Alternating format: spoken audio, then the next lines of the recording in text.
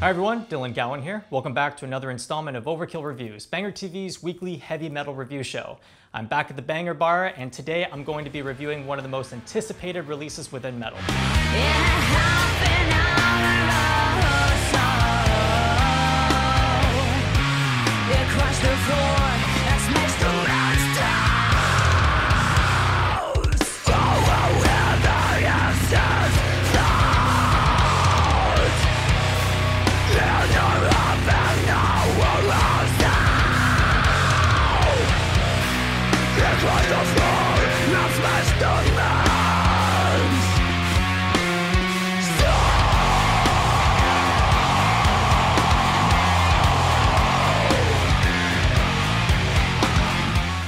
That has got to be one of the sickest grooves that I've heard all year. It's the new studio album by Jinjer called Wallflowers, out today on Napalm Records. Jinjer are arguably one of the most celebrated bands within metal today. Since the band's inception in 2009 in Donetsk, Ukraine, they continue to gain a lot of momentum with every release.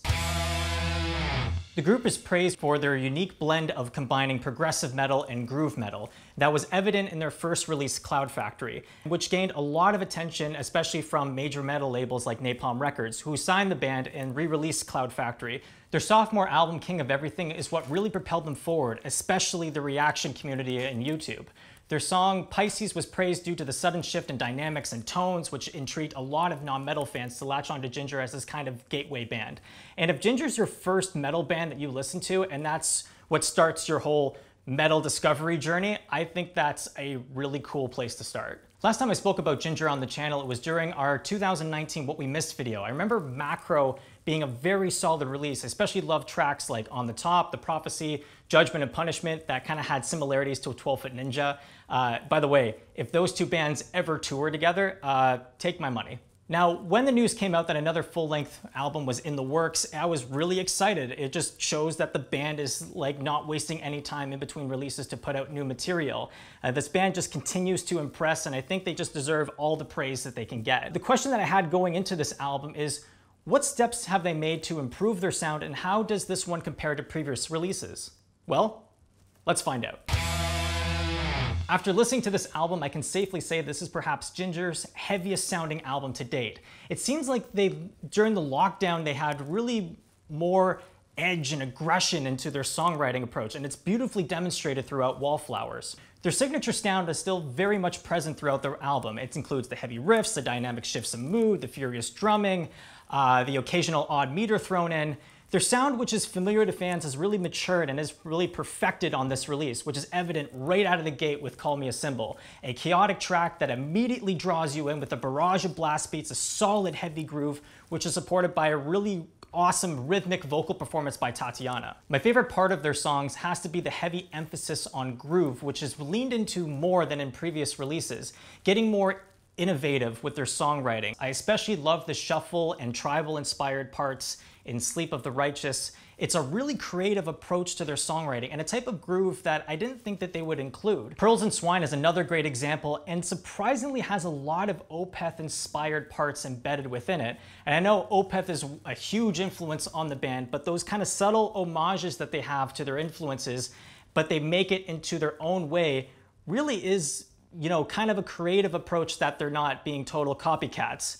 Also, Copycat, by the way, just as a quick side note, is a freaking killer song on the record, totally chaotic. Jumping ahead a little bit in the album, I'd say Mediator is probably one of the best Jinjer songs ever written. It just builds and builds and builds and has this really good intense moment before it says, stop, go.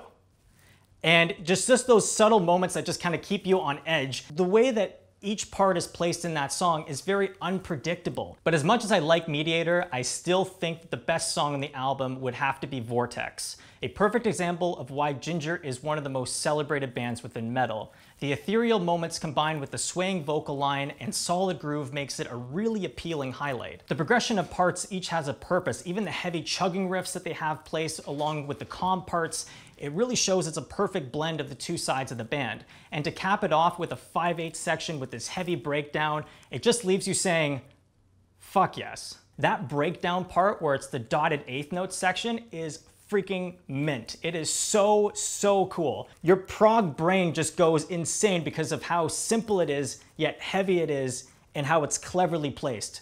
Really, really love that part of that song. Despite the expressed aggression in this album, it really holds a lot of diversity of emotions in exploring heavy and personal topics. The title track, Wallflower, deals with personal problems of consistently feeling isolated, being left behind, and having more introverted characteristics, something many of us can relate to, especially during COVID. The haunting guitar line and the anxiety and timidness in Tatiana's vocals really makes you relate to the character being portrayed within this song. Overall, it feels like the band have really perfected their sound, and while they're still trying to incorporate new elements, it keeps you guessing and it's very unpredictable. They're at a point in their career where they could just be recreating Pisces over and over again, and luckily, they went the total opposite direction of that. Instead of going lighter to get more of a broader audience, they went much heavier and tried to really kind of hone in on the aggressiveness of this record. And the fact that the band didn't succumb to that pressure and went their own way is really commendable. There aren't any negative parts about this record. It's really good, but there is one song I didn't think was as strong as the others. Disclosure is a song that is performed very well, but I don't think it's as memorable as some of the others. It's very similar to a Deftones song, and I kinda lost interest in it despite the back half of it being significantly better. It's the only bump in the road, other than that, it's smooth sailing. Overall, tone-wise, it's really good. All the instruments sound great, but that snare drum sometimes can be a little bit too pinging and dry. However, whatever tonal biases I have is quickly forgotten because his playing is very, very good throughout. Loved all the intricate parts he throws into all of Jinjer's songs, how all of the various runs that he does for all the fills, the great grooves. He's just got really good pocket. So any tonal bias I have is overlooked very quickly because the songs are played very well. This is a very solid album by the band, and if I was to compare this to Macro, I'd say that it's not as good as Macro, however, it is still a very enjoyable listen and easily in my top five best albums of 2021. Check back with me in a couple of months when the new 12 Foot Ninja, Archspire, Dream Theater records come out, but regardless of that, this is a great album and easily deserves a four and a half out of five skulls. All right, it's time for some shout outs. Shout outs. Here are a couple of awesome records that came out today. First up, this is an album I've been really looking forward to, which is Leprous with their new album Aphelion, which comes out on Inside Out Music. Then we've got Kataklysm side project Ex Deo with the 13 Years of Nero, which comes out on Napalm Records as well. And finally, we have Canada's own Danko Jones with his new album Power Trio, which came out on Sonic Unyon today. So if you're a fan of Jinjer and you haven't checked out these albums, I would encourage you to check them out. First up, I would recommend Textures with their record Silhouettes, which came out on Listenable Records. Next up, I would recommend 12 Foot Ninja Silent Machine, which came out back in 2012 on Volcanic Music, and that is easily one of my favorite uh, progressive metal albums of the 2010s. Next up, I would recommend the kings of Australian prog metal, which is Karnivool with their third album, Asymmetry, which came out on Density Records. And finally, I would recommend checking out the Agonists with their latest album, Orphans, which came out on Rodeo Star Records. The Agonist and Jinjer have toured together, and that's just a perfect fit for both bands. So let me know what you guys think of Wallflowers in the comment section below. I very much enjoyed it. I recommend checking it out. And until then, guys, see you soon.